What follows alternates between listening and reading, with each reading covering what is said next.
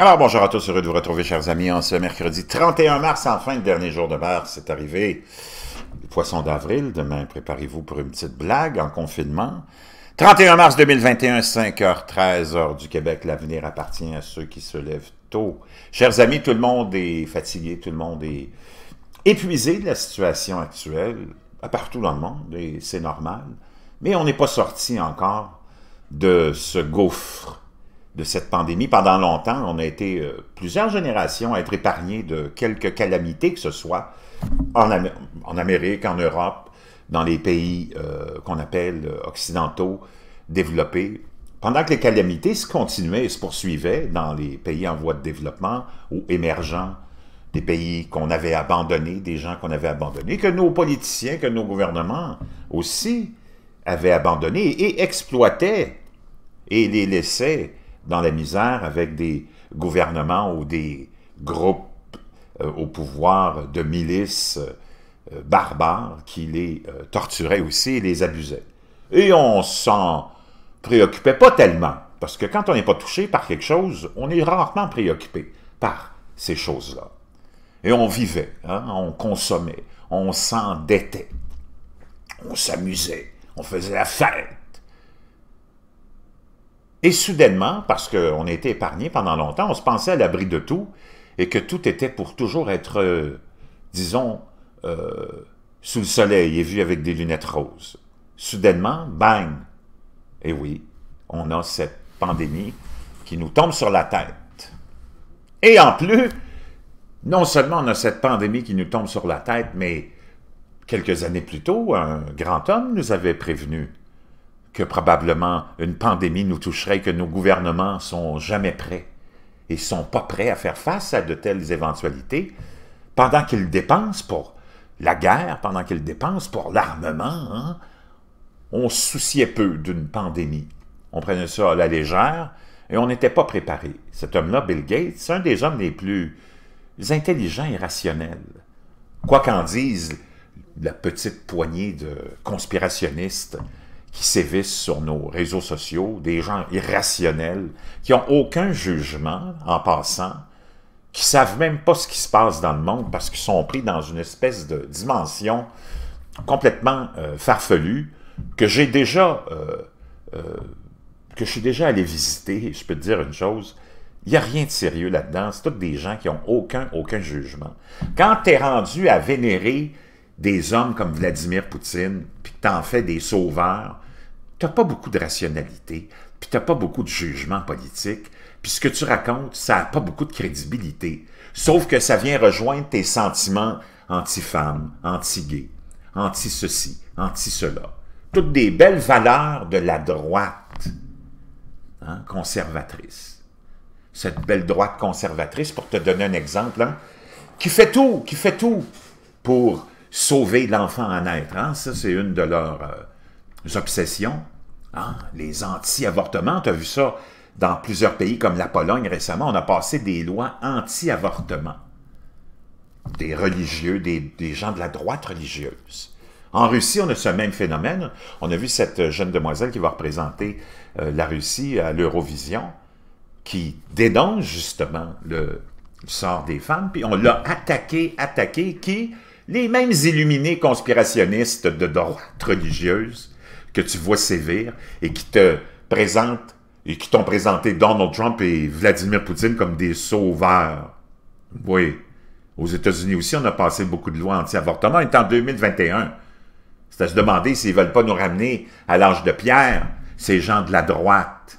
Hein? De la droite conservatrice que tu vois sévir dans des pays un peu étranges ou en, Europe, comme la Pologne, la Hongrie, mais qui sont en voie, espérons-le, parce qu'on voit beaucoup, beaucoup de manifestations, en voie de disparition.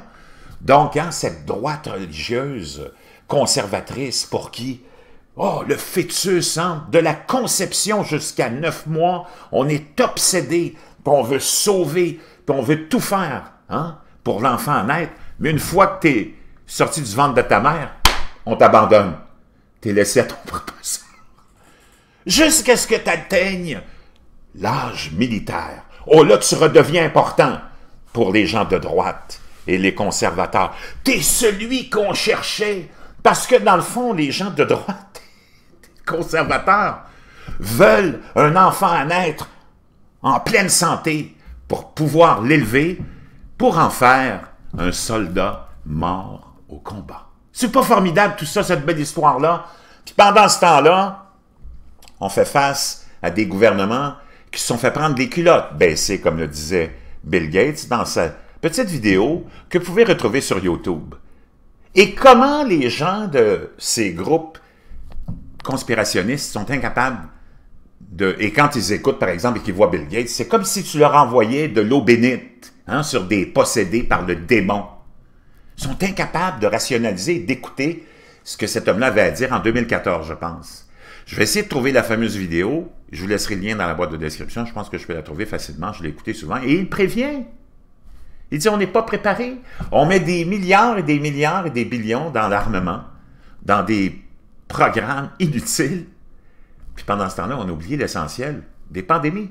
Les virus qui vont être de plus en plus présents à cause de plusieurs éléments, dont les changements climatiques. Et là, maintenant, avant d'aller voir ce que Bill Gates avait à raconter pour la suite des choses, on va juste aller faire un tour dans un petit papier que j'ai trouvé pour vous, qui est très intéressant, qui nous vient de SV, euh, SF Gate, que j'aime beaucoup, et qui est suivant, ça a été publié hier. Quel leader mondial a le pire bilan de la pandémie? Hein? Ben, la concurrence est féroce apparemment. C'est rapporté par le Washington Post sous la plume de Frida Gettys, une pandémie catastrophique et une présidence et une présidence calamiteuse se sont combinés pour donner aux États-Unis l'un des pires bilans mondiaux de décès dus à une pandémie. Cela a été essentiellement confirmé par Deborah Burks, coordonnatrice du groupe de travail sur euh, les coronavirus sous le président Donald Trump, qui a déclaré dans une euh, émission extraordinaire qui est euh, produite par CNN que la plupart des décès aux États-Unis auraient pu être évités, imaginez-vous, et pourtant, Trump n'a peut-être pas été le pire chef de, file de la pandémie. D'autres ont sans doute bâclé la crise encore pire que Trump et la liste, vous en dit long, sur l'état de la gouvernance mondiale par cette droite conservatrice. Il est difficile de dominer la réponse du président quasi éternel du Nicaragua, Daniel Ortega, ben oui, qui est encore là, et de son épouse qui ont répondu à l'annonce d'une pandémie, pardon, je m'excuse, en appelant les gens dans les rues pour un défilé festif qu'ils ont appelé l'amour au temps de COVID-19 et un perversement allusion appropriée au travail de Gabriel euh, Garcia Marquez, hein, le fameux romancier, dont les romans mêlent parfaitement les faits et les hallucinations. Cette décision imprudente a horrifié les militants des droits humains et les scientifiques. Difficile de surpasser, mais pas impossible. Il y a Jair Bolsonaro, un autre président de la droite euh, conservatrice où le système de santé est au bord de l'effondrement et la propagation incontrôlée du virus a engendré des variantes qui menacent maintenant d'autres pays en difficulté. On est à presque 3000 morts par jour au Brésil. Hein, de jeunes Brésiliens meurent dans un nouveau virage alarmant, nous rapportait Bloomberg il y a quatre jours. Je vous en avais parlé. Je vous laisserai tout ça dans la boîte de description. Donc, alors que la pandémie explose à travers le Brésil avec des milliers de morts chaque jour, il a récemment dit aux Brésiliens d'arrêter de pleurnicher à ce sujet. le Mexicain Andrés Manuel López Obrador est un autre président qui a attrapé le virus en le minimisant. Dès le début, il a conseillé aux Mexicains de vivre la vie comme d'habitude. Même après avoir été infecté, il a rejeté les demandes de porter un masque. Il dit qu'il en portera un lorsque la corruption sera éradiquée au Mexique. C'est quoi le lien entre la corruption puis le port du masque, alors que lui probablement est probablement en train de diriger le gouvernement peut-être le plus corrompu du Mexique.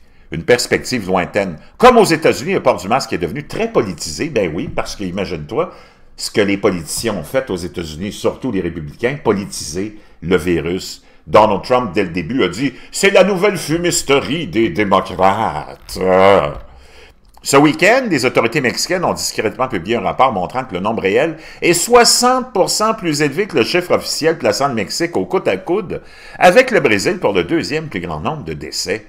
Coïncidence, le populisme semble être une comorbidité dans une pandémie augmentant son bilan mortel. Ensuite, il y a les dictateurs, nos grands amis des dictateurs. Comme la droite conservatrice, c'est pas assez extrême. On a les dictateurs comme Alexander ou Alexandre Loukachenko du Bélarus hein, qui s'accroche et qui s'accroche et qui, étonnamment, ou non, hein, est protégé par notre ami Vladimir, l'idole des conspirationnistes, qui emprisonne puis qui tue tous ces bons opposants qui ont décrit la pandémie comme rien de plus qu'une psychose et prescrit de la vodka et des saunas pour la prévenir. Wow! Loukachenko, qui fait face à des mois de manifestations de masse après une élection contestée l'été dernier, a bloqué les mesures de bon sens pour ralentir le virus à presque chaque tournant. Et ça continue, on vous donne la liste de tous les bons, bons politiciens de droite et les dictateurs. Maintenant, on arrive à Bill Gates, qui il y a quelques jours a dit, hein, parce que c'est lui que tu dois écouter, ou c'est des gens comme ça, dévoués, qui sont démonisés par tous ces gens de droite, conspirationnistes, qui sombrent souvent dans la folie religieuse, hein, qui en ont fait leur euh, euh, l'espèce de Satan, alors que Bill Gates, un homme intelligent et riche, qui a décidé de dévouer sa vie à aider un continent que nos gouvernements, justement, ont abandonné et exploité l'Afrique, avec des programmes de vaccination qui ont amélioré, justement, les conditions des nouveau-nés et de la vie en général pour les enfants, en les sauvant de maladies infantiles.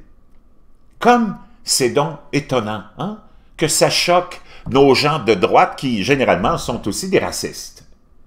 Ça les fait suer qu'un homme riche comme Bill Gates aide un continent noir Étonnant? Ben, pas vraiment. Bill Gates dit que le monde devrait revenir à la normale d'ici la fin de 2022. Celui qui t'avait prévu, prévenu en 2014 que tes gouvernements n'étaient pas préparés, maintenant te dit que ça va aller jusqu'à la fin de 2022. C'est lui qu'on doit écouter et personne d'autre. En raison des vaccins. Le monde devrait revenir à la normale d'ici la fin de 2022 grâce aux vaccins a déclaré Bill Gates dans une entrevue. Imaginez-vous un journal polonais en plus et à la chaîne de télé euh, TVN24. C'est une tragédie incroyable, a déclaré, déclaré le cofondateur de Microsoft à propos de la pandémie, ajoutant que la seule bonne nouvelle était l'accès au vaccin, donc d'ici 2022. Je vous laisse tout ça dans la boîte de description, donc soyez patients. Les cousins français, Emmanuel Macron va vous faire une annonce aujourd'hui probablement peut-être plus de restrictions parce que ça va pas bien. Il y a des augmentations partout aux États-Unis, au Canada aussi. Ça va prendre de la patience parce que nos gouvernements, ils n'étaient pas préparés, ils se sont fait attraper les culottes baissées, puis là, on est en train de patauger dans la, dans la gadoue puis dans la, purée de poids parce que c'est un, une situation qu'on contrôle absolument pas. Les gens de la droite n'ont pas aidé non plus en politisant, en prenant ça à la légère. Peut-être que ça sera même peut-être un peu plus long. On va s'en sortir, mais ça va vraiment demander beaucoup, beaucoup de patience, chers amis. Je vous laisse ça dans la boîte de description.